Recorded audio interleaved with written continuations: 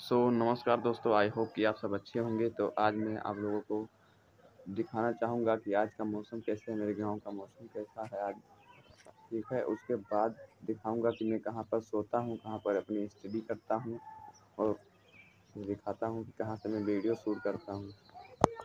देखो दोस्तों अभी सुबह सुबह का मौसम है और यहाँ पर देखो कोहरा इस तरह से है हमारे गाँव में और मौसम ये देखो ऐसे ठंडा मौसम है। तो यहाँ पर देखिए, हम यहाँ पर सोते हैं मच्छरदानी के अंदर और वहाँ पर बुक भी दिख रहा है। तो हम यहीं पे स्टडी करते हैं अपना।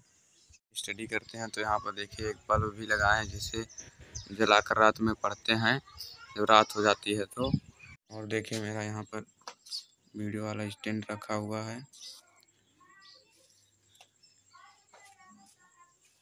कुछ अच्छे बड़ा आदमी घर के भी नहीं हूँ मैं गरीब ही हैं।